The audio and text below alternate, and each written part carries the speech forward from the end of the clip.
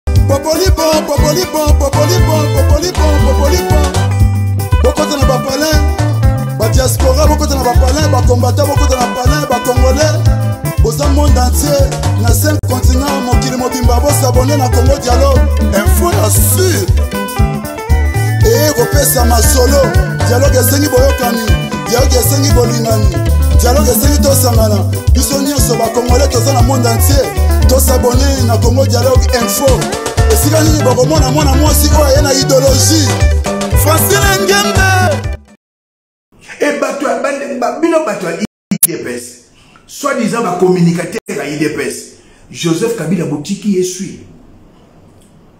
50 ya malheur ya mboka ya lelo je dirais même 60 mpo tobengi ngo na lopoto continuité de l'affaire ya baaffaire ya l'état c'est joseph kabila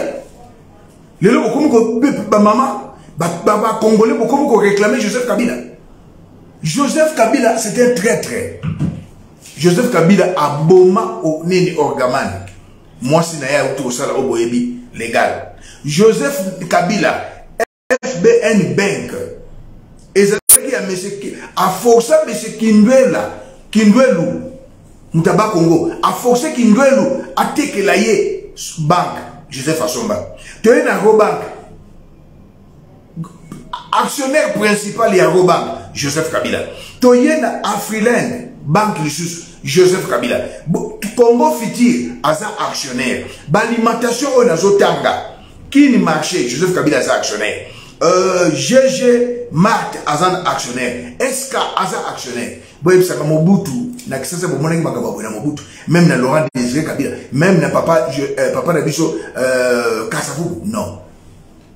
mpe nakoyebisa bino eloko mosusu alimentation susu galaxie aza actionnaire lelo oyo port ya matadi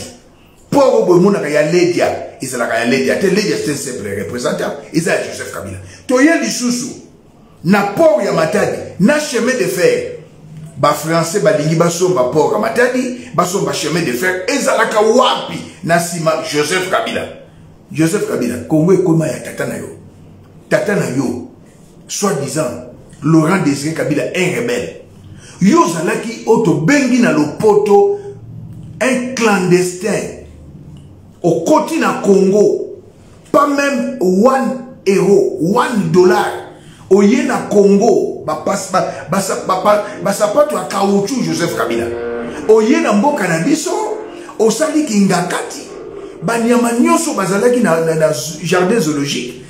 oyo bazalaki kuna na, na, na, na, epa mobutu na, na, na oya ba, ba, ba, na jardin zoologique kuna ya présidentielle ozwi banyama nyonso tie bango na, na kindaka te okomisi kingakati ya tata na yo tata na yo te eza ya yo te joseph kabila c'est un criminel c'est un terroriste c'est un sanguinaire alors moi je demande à chilombo oza na droit moko te osala deal na, na, na, na joseph mpo na transition ya deux ans Non, wana obimi nani? Obimi mobomi. Bonjour, bonsoir na peuple congolais à travers le monde. Wabino molobeli ya mboka prophète King MB Elysée euh, lelo lisusu na ye. Pour l'amour de la RDC, je ne repoins du repos. Pour l'amour de ma patrie, je ne me tairai point. na ye tosolola mpo oyo ezoleka na bareseau sociaux lokuta eleki lokuta eleki ndenge bomoni wana bakomi prophète mb elise debal vital kamere joseph kabila mwanga shushu e olive Kalembe. Paul Kagame azui clé boa. Lelo na ye peuple congolais liloba na Nzambe lobi na mokanda na Osée 4 chapitre 4 verset 6 mon peuple périt donc mon peuple meurt par manque ya connaissance kozanga koyeba eza liwa ya ndambu te eza liwa baza kokosaka bino lelo na ye tosolola vitali kamere aza poison na kati na union sacré vitali kamere aza poison na république démocratique du congo vital kamere azali ndoki nalingi na rapele peuple congolais nani alongolaki chilombo na genève kuna baesika bakendaki na lamuka amemi chilombo na mboka oyo babengi kenya se vital kamere moto ayaki na projet ya 100 jours se vital kamere ayibi mbongo akoti boloko 20 ans 13 ans lelo ekomi baakite ye asali mabe le politicien l'unique oyo ake na bunagana ezali occupé c'est vital kamere vous savez ce que vital kamere a dit à nos frères de nord kivu na bunagana chilombo oyoka nga nalobelaka baverité des fois ozoyoka des fois ozoyoka te mais conséquence ete ya koleka conseil nalobeli yo makambo ya françois beya nalobeli yo makambo ya ancien chef d'état major général oyo kilo euh, euh, euh, joseph kabila apesa yo nalobela yo makambo ya biselele na ya garde corps oyo aza nsima na yo peti wana aza motu ya joseph kabila natikala komona te président de la république sortant azwa bato na ye apesa na président oyo azali oyo abandi kokamba mboka ezalaka te alors tilombo yoka ngai vital kamere bino famille politique ya tilombo boyoka ngai famille biologique ya tilombo boyoka ngai vital kamere na bunagana alobi boye vital kamere alobi boye tilombo aza mutu mabe akangisa ngai afunda ngai na mwasi soki mwasi bakanga ye te mpo abota na jibe mpiana baluba balobi kokanga semeki na biso te tika ye cilombo aza mutu mabe wana maloba ewuti na monoko ya vital kabe na bunagana azoyisa bandeko na biso ya, ya, ya bunagana kuna na nord kivu ayebisi bango tala ce qui est grave haute trahison alobi m23 baza bandeko na bino wana vital kamere vital kamere azoloba na bandeko na bunagana m23 baza na bandeko na bino vital kamere apres azongi avandi na yo azosolola na yo azolia na yo moto akosekiso na monoko me na motema aza ndoki Vital Kamerhe, c'était un pro-rwandais, un faux opposant à l'époque. Après avoir arrêté Jean-Pierre Bemba, il était complice, il était, Azalaki complice. baye kobimisa ye na joseph kabila comme opposant mpo aremplace jean pierre bembo abeti 10 ans na prison ye mpe azali na kati ya makambo ya 10 ans ya prison ya mwana mboka igwe jean pierre bemba lelo vital kamere azokota yo na ccc peuple congolais yango oyo voici la liste des acteurs politiques de l'est en intelligence avec le m23 na en complicité avec m23 et voilà un... Deux... ils veulent pousser le gouvernement de la rdc à se courber devant ses agresseurs pour négocier sa souveraineté et répondre aux réclamations de Paul Kagame. Bah, traître, numéro 1, Vital Kamere, président à INC. Numéro 2, Moïse Niarougabou, député à RCD Goma. Numéro 3, Azarias roubaix Bah, trois traîtres. Et la liste est tellement longue. na ntango oyo ba, bino bakongole boyebi vital kamere moïse nyarugabu azarias ruberwa balingi koforce gouvernement ya rdc koforce république ya, ya, ya rdc base courbe contre m23 ba négocier contre notre souveraineté pe ba répondre na ba posa ya Paul Kagame pourtant Paul Kagame azui clé boa qu'on ne vous trompe pas Ouganda atekaka susu minerais na biso te qu'on ne vous trompe pas soki moto alebe aza na preuve alakisa Rwanda atekaka lisusu coltan te rwanda atekaka coltan na biso te or na biso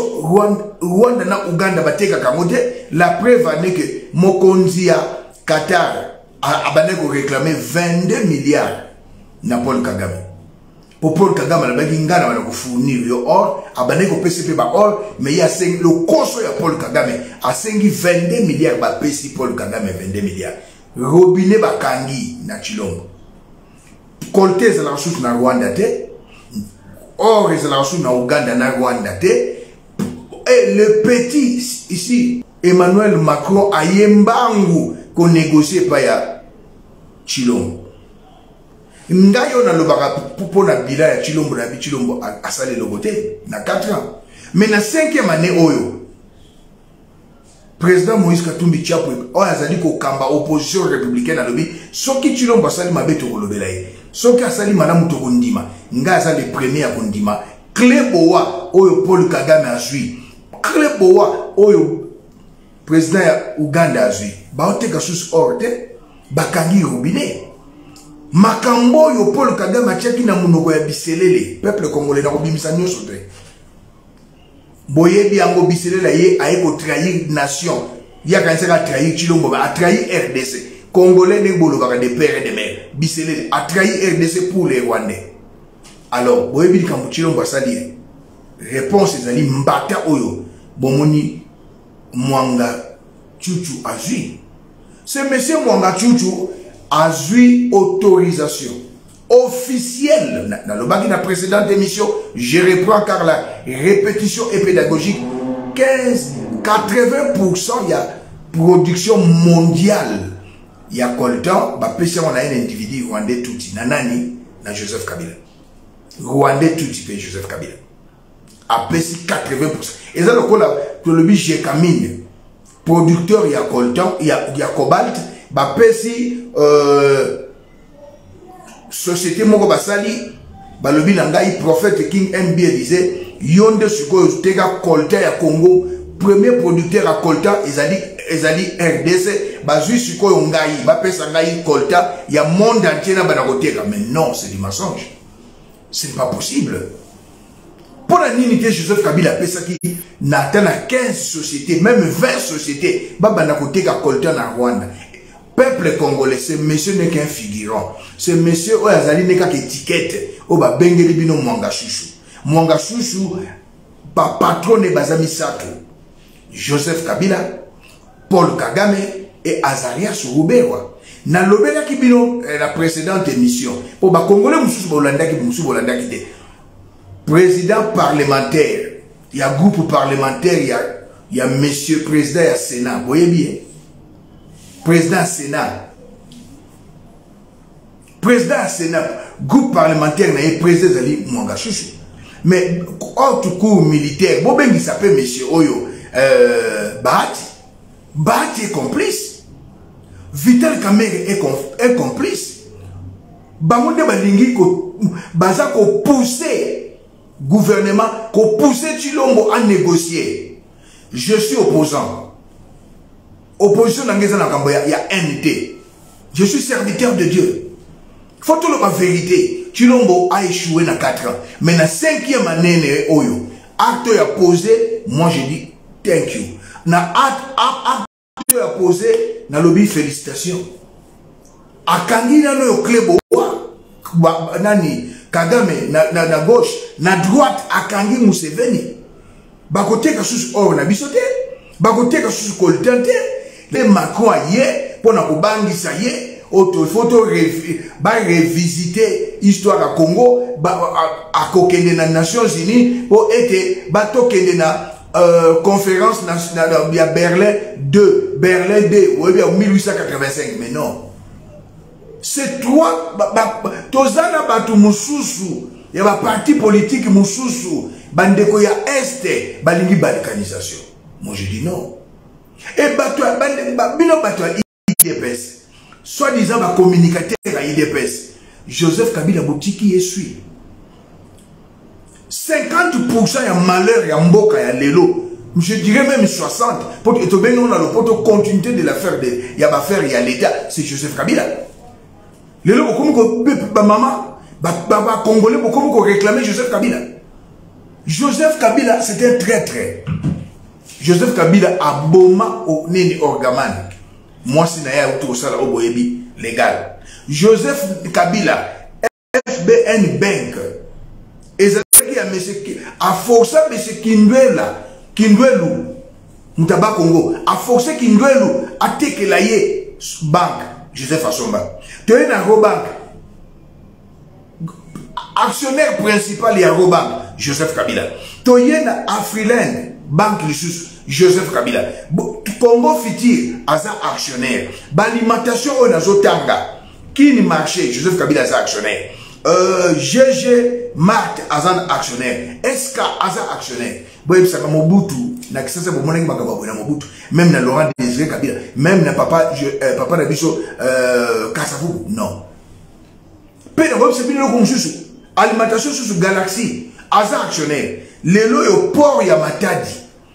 mpo yango boye emonaka ya ledia ezalaka ya ledia te ledia c'est un simple représentant eza ya joseph kabila toye lisusu na port ya matadi na chemin de fer bafrançais balingi basomba port ya matadi basomba chemin de fer ezalaka wapi na nsima joseph kabila joseph kabila kongo ekoma ya tata na yo tata na yo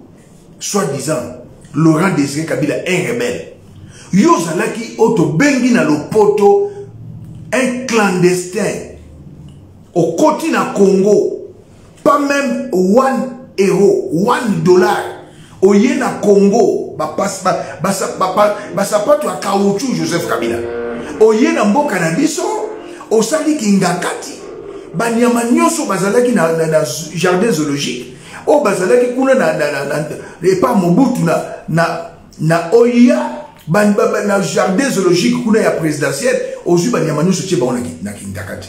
okomisi kingakati ya tata na yo tata na yo te eza ya yo te joseph kabila c'est un criminel c'est un terroriste c'est un sanguinaire alors moi je demande à chilombo oza na droit moko te osala deal na, na, na, na joseph mpo na transition ya deux ans non wana obimi nani obimi mobomi okoki kosala transition na joseph te nalobaki no benga fayulu benga moïse katumbi chapwe bovanda na bango oyeba ndenge nini tokokende na transition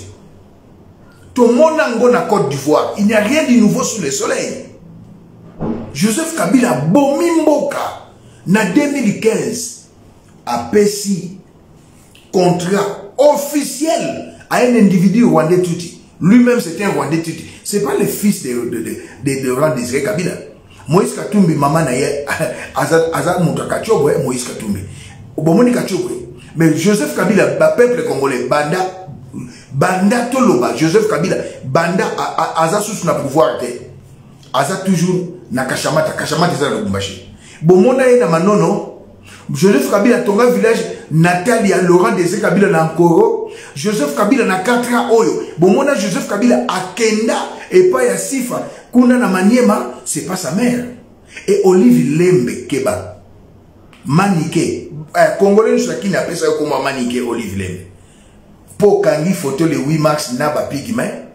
olingi olakisa biso ke olobaka eh, eh, félix eh, plutôt ce petit joseph kabila le criminel sanguinaire terroriste aza david il faut azonga asilisa mosala na ye mosala nini joseph kabila akosilisa olive lelo na 18 ans joseph kabila abomi chebeya yo oza mwasi me mwasi ya chebeya mwasi lokola yo orf akoma lelo veuve bana ya chebeya baza baorphelin na baorpheline abomi armak tungulu olive lembo oyebi yango te abomi général mbunza mabe abomi colonel mamadu olive lembe oyebi yango te abomi paster lukusa mwasi na ye lelo veuve bana baorphelin olive lembe oyebi yango te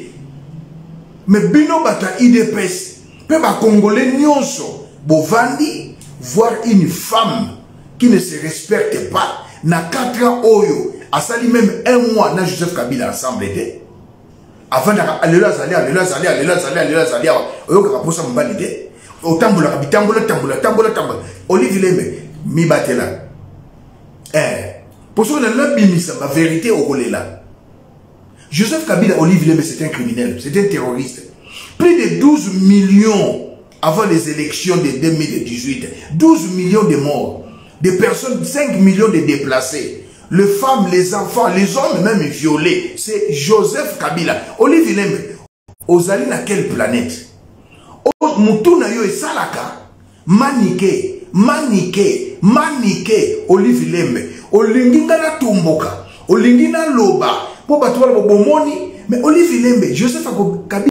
akozonga na mécanisme nini olive lembe tu n'as même pas un diplôme d'état même tuna bato na constitution azali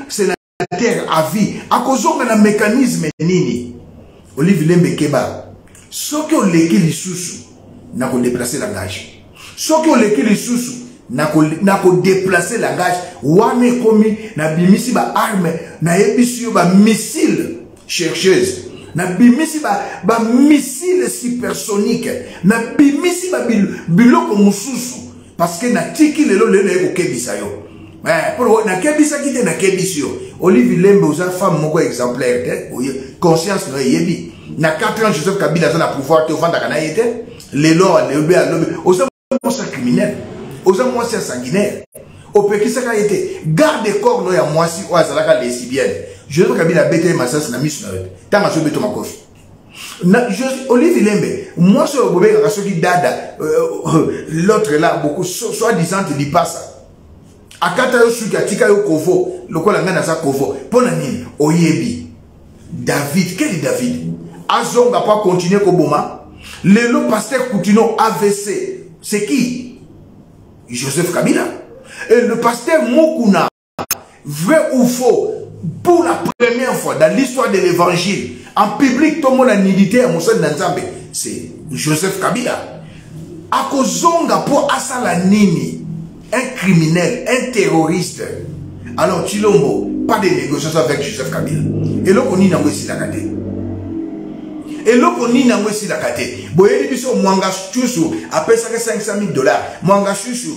apesa 100000 dollars na chilombo mpo na uh, 2018 ok natuni sikoyo bongo baconseiller nyonso oyo boyebisa biso ete basoutenir ba chilombo na, na, na campagne bapesa combien et j'aimerais vous dire aujourd'hui 1 million 500 000 dollars na congrès ya, ya idps ya 2018 moto apesaka moïse katumbi chapwe mwena menji fumu amei malenga mobandisi wa bantu momamisi wa bantu moïse katumba abimisa 1 million 500 000 dollars mwanga susu bolingi bokomisa milliardaire bongo bokomisa million non c'est un voleur c'est un criminel bakuti minduki bakuti baarme na kinshasa mpe na est na résidence na yo me bino bozokoka kokata likambo oyo te nini bozozela nini influence euta na sasungu esu influence euta wapi na paul kagame influence euta wapi na président oyo ya angola mpo na minute oyo bafrançais basuki bamultinationale basuki oui cle bowa cilombo akangi paul kagame cle bowa cilombo akangi euh, président ya uganda museveni or ezotekama te kolte ezotekama te cilombo soki asali mabe na koloba c'est ça l'opposition républicaine soki asali malamu na kondima mais je suis toujours dans l'opposition opposition elakisi haine te bino mpe bata ibata idps haine eleki contre biso bato toza na kati na, na, na, na, na opposition mwanga susu ne rien olive lembe respecte toi david non ton mari n'est pas david C'est un sanguinaire, c'est un terroriste, c'est un criminel. Tu ne te respectes pas. Soko leki lisusu lobimaka mamboka, ah wana na kobimisa ba arme, ba na kobimisa ba arme chercheuse. Na kobimisa ba missile moko oyo mokili mobimba ba bayeba te ba koyeba. Oui, pour tu ne tu n'es pas une femme qui se respecte. Na kokubeta mona lingala sikoyo. Olive Lembe keba, keba, keba. Na lobi mbala boni, mbala misato. Vital Kamere c'est un traître. Oh, Azarias Ruberwa traître. nya oyo mosusu ye yo soki mwarugambo traitre bango balingi koforce chilombo anegocie na m23 aforce chilombo akokisa baposa ya paul kagame alors pourquoi garder na union sacré motu lokola vital camere monsieur chilombo un traître comme Vital Kamerhe pourquoi ne pas faire na ba haute cour na bino babengisa bahati babengisa nyarugabo babengisa azarias ruberwa babomi ya congo mais non congo ezali un et indivisible ba, balikanisation ekotikala kosalama na rdc te bokokutana na ngai na nzela sentinelle ya rdc molobeli ya mboka bokokutana na pastere joel konde mobundi ya congo bokokota na baye nyonso balingi changement ekota na congo lelo oyo chilombo akangi akangi kagame klebowa akangi pise petit ya, ya museveni klebowa or ezotekama te euh, coltin ezotekama te ce petit de pede macron aye mpo aforce chilombo alobi fongola je fongola je biso mpe tokoloba kuna be m23 abima m23 akobima mpo akende kovanda na bacommunauté ya force ya communauté ya état de l'afrique de l'est chilombo rompre relation na communauté des états de l'afrique de l'est angola lisusu aye burundi lisusu aye me babitu basoda ba nyonso bazoya este ekoma nini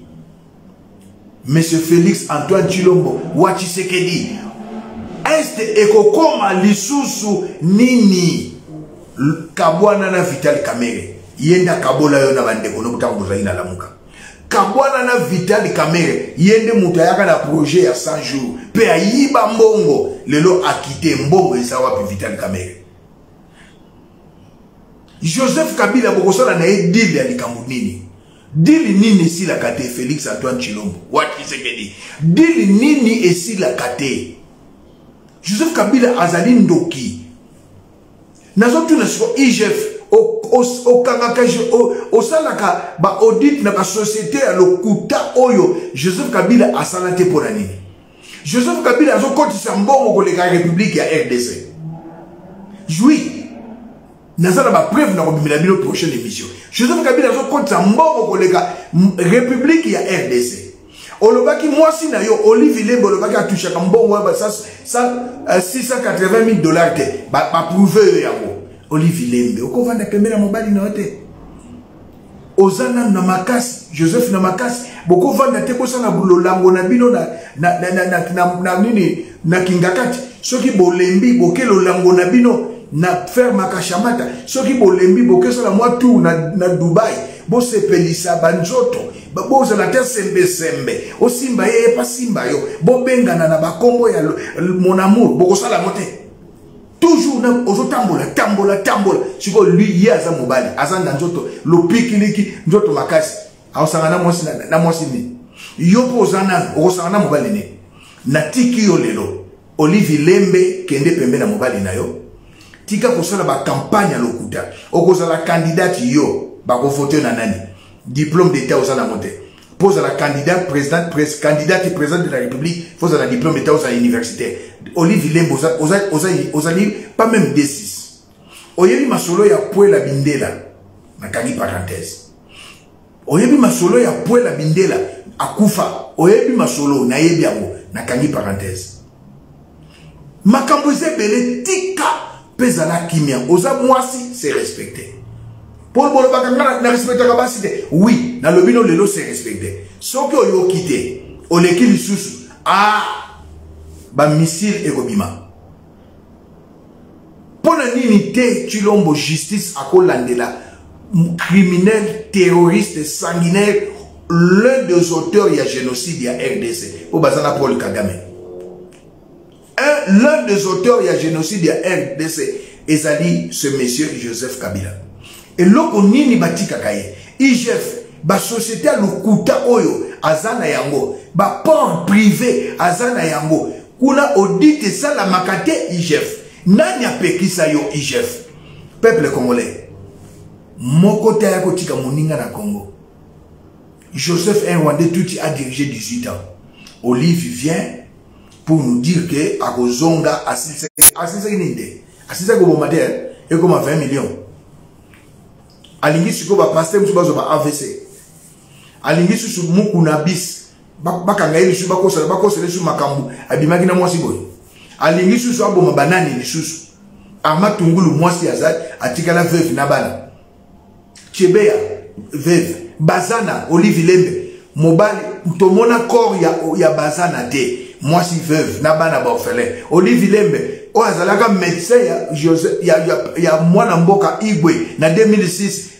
docteur nsoso nsoso nzoto tomona te olive lembe tala naza na baliste ya bato bagénéral mbunza mabe bacolonel mamado olive lembe abomi koboma oyo azalaki na prison akotelaki ye abandaki kolakisa ndenge babetaka makofi alamba joseph kabila aboma alamba général yave joseph kabila aboma général yave olive oza na planète nini olive oraisonnaka olive oza mutu olive okanisaka olive omonaka olive oyokaka olive olive lembe wapi, wapi erik lenge tata ya mwana no ya liboso mwana liboso wana ya mwasi tata na ye erik lenge aza wapi joseph kabila boma donc olive lembe keba ah. ah, ah. olive lembe keba naye nabimisa saint esprit aboyi naye naloba saint esprit akaninga monoko naye naloba saint esprit abitika natiki mpo na lelo olive lembe keba mwanga shushu basambisa ye chilombo nasengi na yo mwanga shushu aza na droit ya liberté provisoire te biselelo asambwisi yo aza na droit ya liberté provisoire te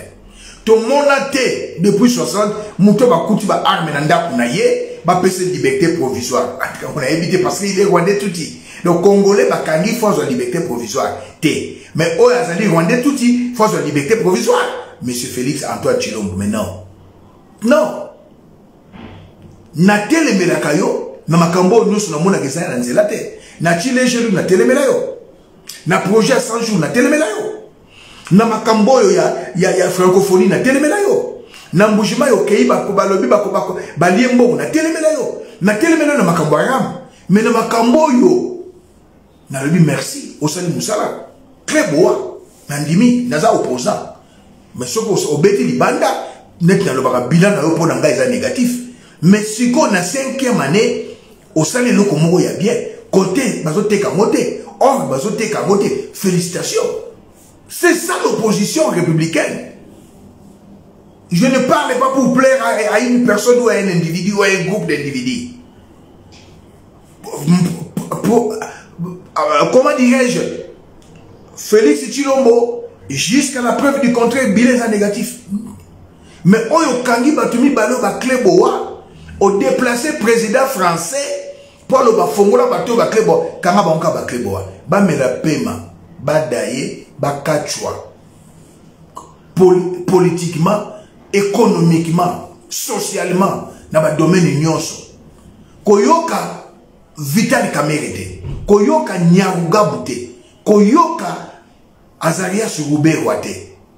kosede te benga moïse katumbi chapwe benga fayulu yo mpe na jean pierre bemba oza na jean pierre bemba koyoka dani banza te oza na jean pierre bemba mpo okoma fort benga moïse benga susu eh, nani jean pierre eh, nani euh, fayulu bosali ekipe moko makasi bwaka libanda mwana mobali oyo ndoki sorcier moyibi atindaka bato wana na 2013 par joseph kabila baboma nga bakanga bato wana c'est vital kamere oke na, na, na bunagana soki ezalaka moïse akotaki bunagana moïse katumbi lelo bata idps bolinga boloba nini soki ezalaka fayulu bata idps bolinga boloba nini me ye akoti bunagana ake afingi chilombo fitel kamere alobi aza mutu mabe akangisaki ngambe akangisaki mpo oyibaki leta moto akangaki oyibaki alobi bandeko na nga bunagana m23 bandeko na bino ah, chilombo nalobi naloba monoko nini kuna muchilu bani chilongo nga aza nationaliste nakoloba na chiluba te na lingala owe odi musu ya mungakola muchilu bani nakola mungakolukai po yoka nga vital kamera andoki akabola yo mpe alingako te ndenge abima na prison atongaka yo mpe alobaka mabe mpo na yo nazoloba na yo mpo na ngobila te otiki ovandi na yo alors peuple congolais c'était ça naye koyebisa bino mwanga shushu aza naye kaka un simple figurant mwanga shushu aza naye kaka moto oyo baza koutilize mwanga shushu bapatrone baza misato joseph kabila azarias ruberwa et paul kagame comme paul kagame na baaccord ba ya, ya commerce akoki kosala koteka kolta boye te même joseph ni euh, ruberwa babimisi mwanga shushu apesa ba jeep apesa boye mais eh, un rwandais député au congo tuti un rwandais qui va récolter des congolais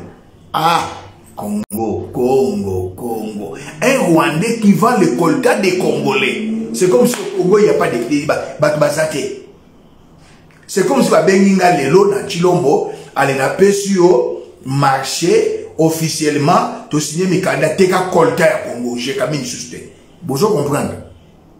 premier pro producteur ya colta na monde et plutôt ya cobalt cobalt premier producteur ya colta ya monde ya cobalt c'est jekami tshilombo azwi marché wana apesa nga me esalaka te congolais mwanga susu mwanga susu ebandi na 2015 bapesi ye mokanda officiellement ateka kolta oyo ezali 80 na congo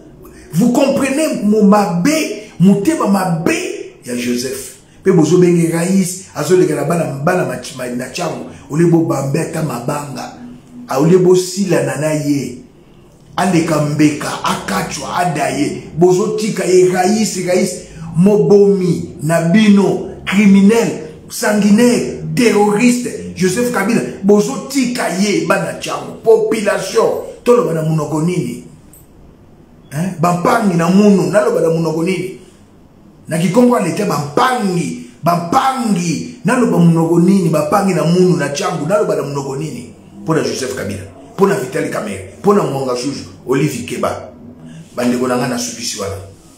debout congolais soko le congo ntango zifweni dibadi ya kokumbana ntango ekoki sai ineneya pas question ya balkanisation kamere balkanisation eza te pas question ya balkanisation azarias rubewa balkanisation eza te pas question ya balkanisation